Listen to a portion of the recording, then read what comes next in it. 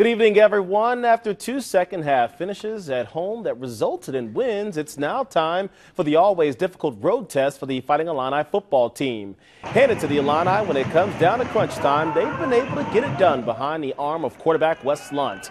A little different scenario and setup this Saturday. Head coach Tim Beckman talked about last year's battle with the Huskies and how success starts on the road for the Illini this season. I think we uh, just worry about who we are and what we are and how the strides that we have to to make offensively and defensively. Um, you know, it was great atmosphere last year playing at Soldier Field, and our players totally enjoyed that. There's no question about that. But uh, it's an, our, our opportunity to go on the road. You know, I always say the championships are won on the road you got to be able to to uh, take advantage of of uh, how you play on the road. So we'll worry about ourselves right now. We'll worry about 2014 and go from there.